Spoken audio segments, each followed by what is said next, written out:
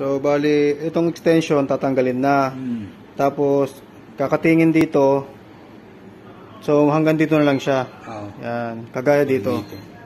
Hmm.